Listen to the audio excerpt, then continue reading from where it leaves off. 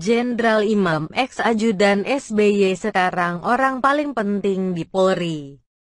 Inspektur Jenderal Imam Sugianto yang kini menjabat sebagai Asisten Operasi Kapolri (ASOPS) merupakan salah satu perwira tinggi polisi yang karirnya terbilang moncer. Imam pernah menduduki jabatan strategis di kepolisian hingga akhirnya menjadi orang paling penting di Korps Bayangkara.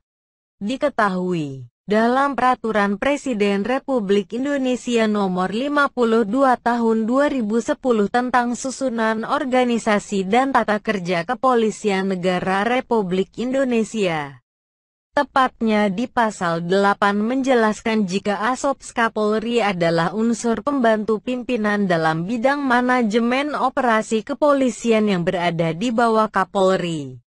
Asops Kapolri sebagaimana dimaksud pada ayat 1, bertugas membantu Kapolri dalam bidang perencanaan, pengorganisasian, pelaksanaan dan pengendalian operasi kepolisian termasuk pelaksanaan kerjasama kementerian lembaga serta menindaklanjuti pengawasan dan pengendalian terhadap pelaksanaan program khusus pemerintah yang berkaitan dengan Polri.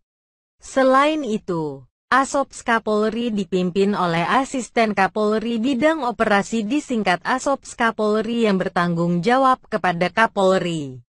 Dalam masa pilkada ini, Imam yang dilantik tanggal 3 Agustus tahun 2020 kemarin, ditunjuk Kapolri Jenderal Ida Mazis untuk membantunya penunjukan Imam sebagai Asops Kapolri karena dia dipercaya bisa mengelola operasional pengamanan seluruh Indonesia terlebih tahun ini diselenggarakan pilkada serentak dari tingkat kabupaten kota hingga provinsi. Imam bukan kali ini saja mengurusi pesta demokrasi.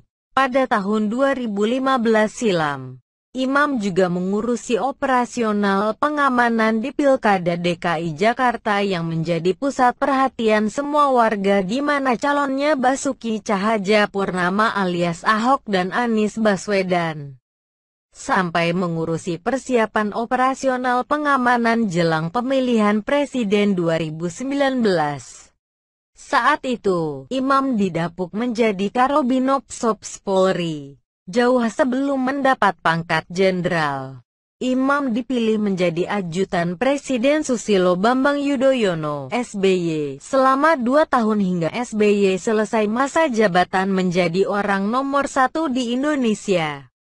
Sejumlah jabatan strategis juga pernah dia duduki, di antaranya Kasat Intel Kampol Wiltabes Surabaya Kapolresta Surabaya Timur Kapolres Gresik 2008 Sespri Kapolri Kapolres Metro Bekasi Kota 2009 Kapolres Metro Jakarta Selatan 2011 Ajudan Presiden RI 1 2012 Wakapolda Daerah Istimewa Yogyakarta 2014 Karobinop Sops Polri 2015 Wakapolda Kalimantan Barat 2019 Asisten Operasi Kapolri 2020